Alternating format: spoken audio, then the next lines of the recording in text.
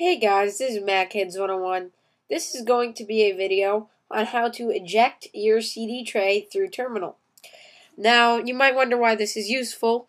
Well, for many reasons. One, if your computer doesn't have an eject key on the keyboard, um, most laptops come with this eject key, but um, if yours doesn't have it, you might not be able to eject.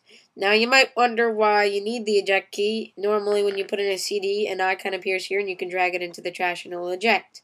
Well, I'll answer that question.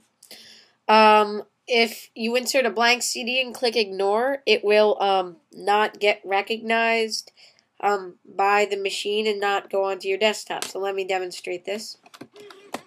I've just inserted a blank CD. Okay, so it's reading the CD and it's going to realize it's blank.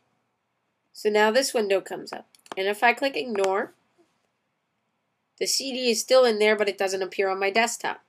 Now, if I didn't have an eject key, how am I supposed to eject the CD? You know, there's no way to do it. So here's how to do it through terminal.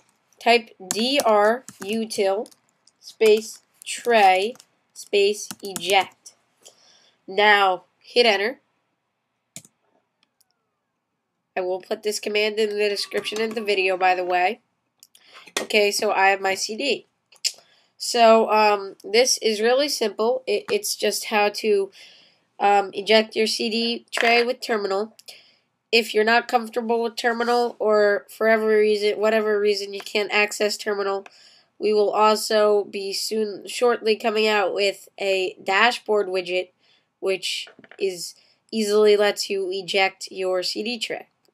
So thank you for watching macheads101. Subscribe and goodbye.